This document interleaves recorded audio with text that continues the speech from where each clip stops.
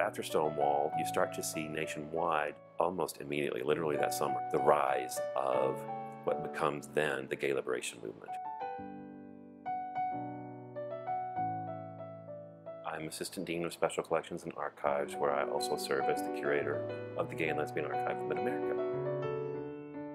In this day and age, as someone who works with a new crop of 18-year-olds every year, you see what a different world it is for those young people. LGBT isn't an issue for them because they've been exposed to LGBT culture their entire lives. They don't know a world without Will and Grace, right?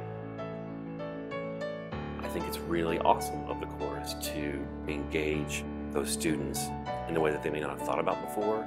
What I hope, taking a different set of life experiences and sharing them with these students to show, to demonstrate to them how far we have come.